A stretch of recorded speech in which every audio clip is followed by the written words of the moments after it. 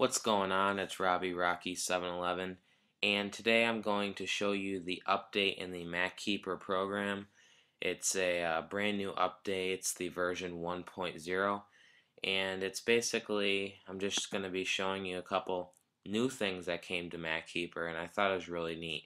So let's launch the application and you can see right here that you know, you have your account, which is blocked. I have my account blocked. But you have a lot of new features right over here.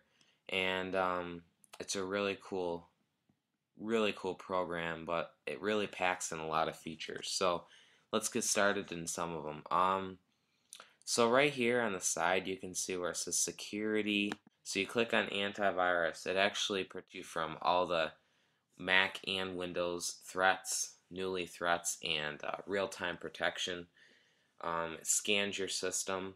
You can schedule it to scan your system. You, it also quarantines all the stuff and uh, has real-time protection. Like I said, has automatic updating and it really keeps your Mac really clean. Another thing is is called anti-theft and uh, anti-theft is something where you uh, if your Mac is stolen and uh, what you do is you just report it to them and uh, they get they uh, do a police report and you can get it back. Um, you also have data encryptor so you can encrypt your passwords. Uh, undelete shredder backup zero disk uh, fast cleanup. You just basically what you do is press start and it cleans up the junk thing that you know you use on your computer that just is bogging down your you know your computer. Um, another thing is is basically that's a one-click scan.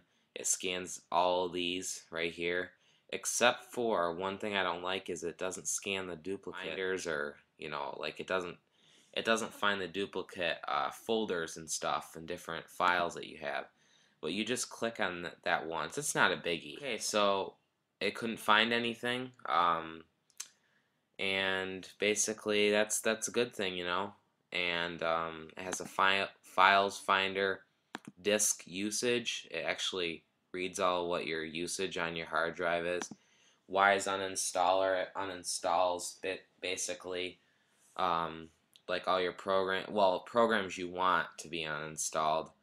Um, update like it keeps you know your versions of what you have up to date. Make sure you have it you have also your login items too, so you can add programs, your default apps too, and your Geek on Demand.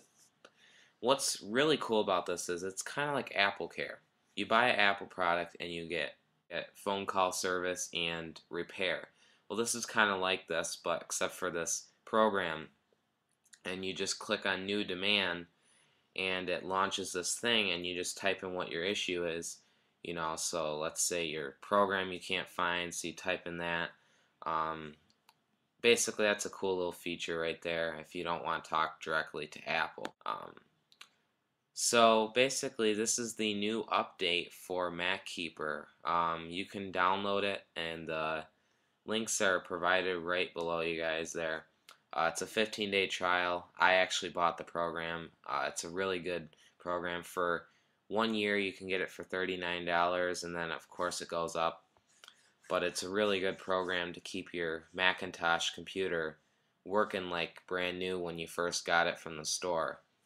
And uh, it's, it's just really, uh, it's been very well, I mean it's a very well known program for, you know, Mac users. And I hope they come out with a PC version, but I really doubt it. I mean, I don't think they will because it's just really, you know, PCs already have, I mean, there are benefits to having PCs, and, you know, I mean, so basically that's really it, and I hope you guys enjoyed this video. Um, if you want to please rate, comment, and subscribe to my channel, I'm going to have some more videos coming out, and uh, more unboxings and more reviews coming your way. So if you want to stay tuned and click the subscribe button at the top, you can. Um, and I just want to say thank you for watching this new video and have a great day.